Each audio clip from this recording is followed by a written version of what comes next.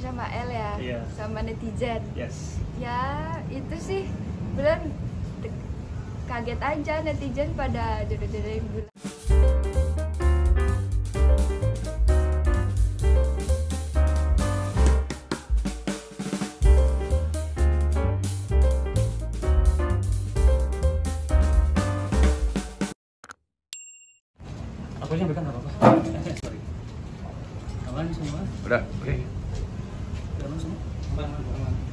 Ya. Ya mungkin bulan eh, mungkin gimana bulan untuk eh, ini kan lagi rame nih bulan di sosial media mengenai kemarin eh, yang dibilang dijodoh-jodohkan sama El mungkin seperti apa mungkin dari bulan sendiri menanggapi ini bulan. Jodoh-jodohin sama El ya, Iya. sama netizen. Yes. Ya itu sih bulan kaget aja netizen pada jodoh-jodohin bulan kayak gitu. Karena bulan belum tahu sama sekali gimana KL dan belum pernah kenal sama sekali. Karena kemarin kan sebulan sempat ditanyain ya sama Bunda Maya.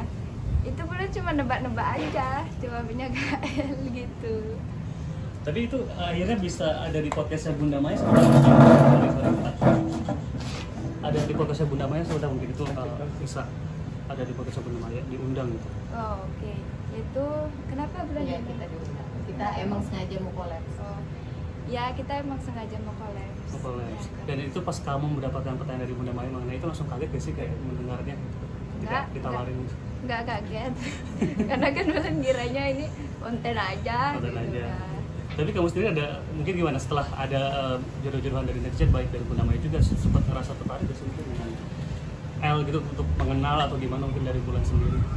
kalau mengenal untuk jadi teman sih ya nggak apa-apa kita Kalau bulan sih karena belum tahu ya belum kenal orangnya gimana belum bertemu jadi ya ya udahlah gitu netizen bilangnya gitu ya udah Ya udah. Dan kan netizen mengatakan eh, kalau Bunda Maya itu sebagai kayak mertua idaman. Nah, menurut Iya. kamu sendiri gimana menanggapi itu?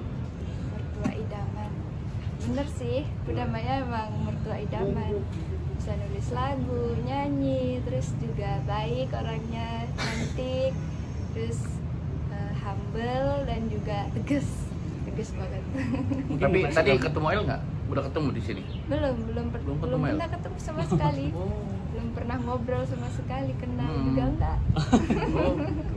Tapi setelah bulan sendiri memang sedang sendiri atau mungkin ada udah ada pesanan? Sendiri. Oh sendiri, oke sih. Atau Kalau mungkin- karirnya bulan sendiri apa? karirnya bulan nyanyi Nyanyi di Nyanyi dan juga nanti mau acting juga Oh, Acting aslinya film. mana sih? Aslinya di Bali Oh, Bali. Ya. Oh, pokoknya kayak suara Malaysia ya. Malaysia kayak Melayu. Heeh. betul betul Tapi bulan Jadi blasteran dia. Kak, Mana? Bali tok Oh, Bali asli. Yo, Bali asli tapi bulan ada gak sih mungkin kesempatan untuk mungkin duet dengan mungkin atau Bunda Maya atau mungkin dengan L atau gimana ada gak sih kesempatan menuju ke situ? Itu sih terserah mereka ya kalau bulan sih mau mau aja Mau aja. duet gitu duet kan positif Ya, bener bener bener. bener. duet nyanyi Sempat ngefans sama Bunda Maya mungkin atau gimana? Eh, ngefans iya cuman karena kan lihat dari juri idol ya Bunda Maya kayak yang tegas gitu seneng seneng aja sih lihatnya Seneng Buddha Mayanya apa seneng L-nya nih? ketemu aja nggak pernah gimana mau seneng Oke. Kalau kan enggak kalau nanti dihubungin sama L gimana nih? Hah?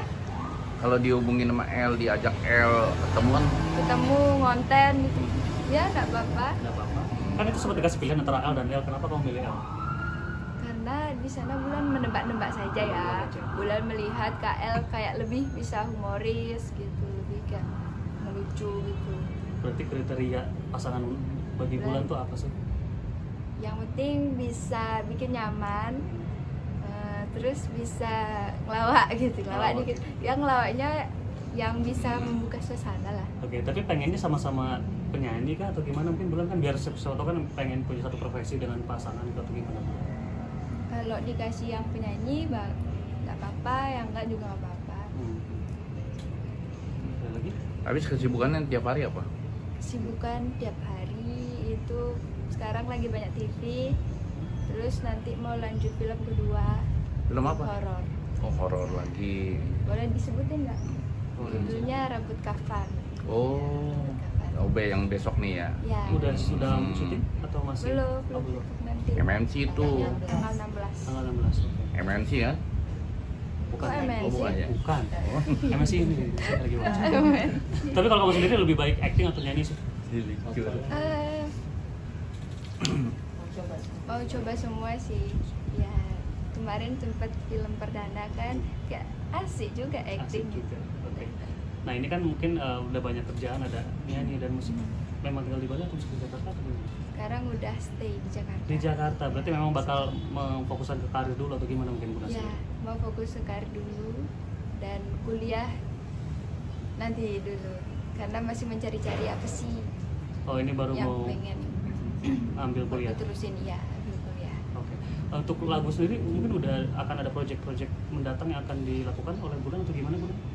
iya nanti rencananya bulan pengen bikin nulis lagu sendiri single sendiri doain ya tapi udah ada single belum udah apa tetap Judulnya? punyaku Hah? tetap punyaku tetap punyaku sama ghosting Hmm. terpesona kamu recycle. dari ajang pencari bakat atau memang otodidak dong nyanyinya otodidak otodidak lewat tiktok TikTok. lewat sosial media Itu lagu-lagunya yang kamu ciptain atau gimana yang tadi kamu sebutin atau? Eh, kalau yang ghosting itu ciptaan bulan Oke. tapi nadanya itu lagu-lagu tiktok jadi bulan recycle pakai lirik sendiri Oke. Itu by pengalaman kah? Iya, baik pengalaman. Kenapa emang pernah digosting sama orang atau gimana sih Bulan sebenarnya? Pernah dong, makanya ada lagu ghosting. Mau dinyanyiin nggak? Boleh, Iya. boleh, boleh. Ini boleh. nggak ada gitar. Nggak apa-apa. Nggak Eh, apa-apa. Liriknya ya. Tiap hari kita chatting, malamnya kita calling. Baper sampai salting, tapi napa kamu ghosting? Welat kang, welat, welat kang ghosting, kang ghosting, ghosting. Nah ini dari pengalaman kamu yang pernah di ghosting, apa sih yang dapat dipelajari dari pas kamu dekat sama orang tapi di ghosting itu apa sih? Hikmah seperti apa mungkin kamu dapat dari situ? Hikmah eh, ditinggal pas lagi sayang-sayangnya. Aduh. Iya. Di apa ya? Apa sih hikmahnya kak? Jadi Jadi lebih kebal. Akhirnya jadi berkarya kan. tapi digosipin sama L ini akan menaik nggak sih eh, akan naik nggak sih karir kamu Nggak tahu dah. Nggak tahu dah. Nggak ngarepin naik juga sih. Nggak nggak ngarepin naik dari gosip juga. Ya. Ulang. ya, yang penting berkarya sih. Kalau mau tuh kamu kelahiran mana sih kelahiran dua- 2004 oh, 2004 dan pasar Bali. 14 Mei. oh gitu tapi bapak papa asli Bali juga Ya. mama asli Bali ya Ya. Kali toh. Sore ini kan sempat ramai digosipin benci- dekat sama boleh. tapi kan mungkin ada juga netizen yang akhirnya ber- berkomentar, wah kalian beda keyakinan nih. Nah itu gimana ada eh, mungkin tanggapan dari bulan atau seperti apa? Mungkin Iya, temboknya tinggi. Susah. atau bulan sendiri mungkin nggak apa-apa untuk punya pasangan eh, beda agama atau gimana? Atau mungkin harus agama juga atau gimana? Kalau Bulan? sih beda agama nggak apa-apa ya, tapi nggak tahu juga orang tua gimana. Benar. Bulan harus nanya dulu. Aman semua? udah Oke, aman siap.